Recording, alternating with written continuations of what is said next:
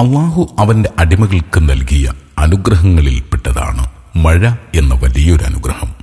മഴവെള്ളത്തെ അള്ളാഹു വിശേഷിപ്പിക്കുന്നുണ്ട് അത് ശുദ്ധമാണെന്ന്. ആകാശത്തുനിന്ന് ശുദ്ധമായ ജലം നാം ഇറക്കുകയും ചെയ്തിരിക്കുന്നു. അൽ ഫുർഖാൻ നാൽപ്പത്തിയെട്ട്. മഴവെള്ളത്തെ അതൊരു അനുഗ്രഹീത ജലമാണെന്നും അള്ളാഹു വിശേഷിപ്പിക്കുന്നുണ്ട്. ആകാശത്തുനിന്ന് നാം അനുഗ്രഹീത വെള്ളം വർഷിക്കുകയും എന്നിട്ടത് മൂലം പലതരം തോട്ടങ്ങളും കൊയ്തെടുക്കുന്ന ധാന്യങ്ങളും നാം മുളപ്പിക്കുകയും ചെയ്തു. കാഫ് ഒൻപത്.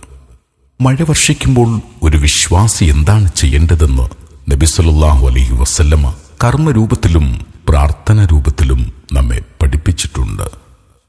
നബിസല്ലാഹു അലഹി വസ്ല്ലം ഇപ്രകാരം പ്രാർത്ഥിക്കുമായിരുന്നു. അള്ളാഹുമ്മ സയ്യിബൻ നാഫിയാൻ. അള്ളാഹുവെ ഉപകരിക്കുന്ന ധാരാളം മഴ നൽകണമേ.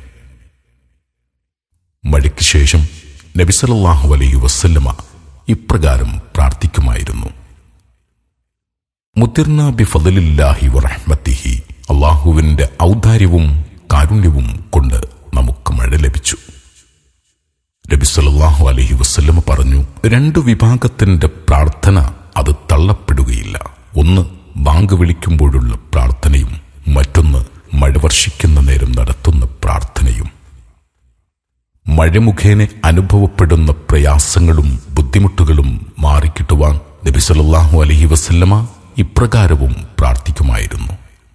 അള്ളാഹുമ്മ ഹവാലൈന വല അലൈന. അള്ളാഹുവെ ഞങ്ങളുടെ ചുറ്റുഭാഗങ്ങളിലേക്കും മഴയെ നീ നീക്കണമേ. പ്രവാചകൻ സല്ലല്ലാഹു അലൈഹി വസല്ലമ പുതുമഴ പെയ്യുന്ന സമയത്ത് തന്റെ ശരീരത്തിൽ മഴവെള്ളം നനഞ്ഞുകൊണ്ട് ഇപ്രകാരം പറയുമായിരുന്നു. കാരണം അത് നിന്റെ രക്ഷിതാവിന്റെ അടുക്കൽ നിന്ന് പുതുതായി വന്നിട്ടുള്ളതാണ്. നേർമൊഴി ജീവിത വഴിയിലെ പ്രമാണനാളം ഒരു ഓൺലൈൻ ഇസ്ലാമിക മതപഠന സംരംഭം.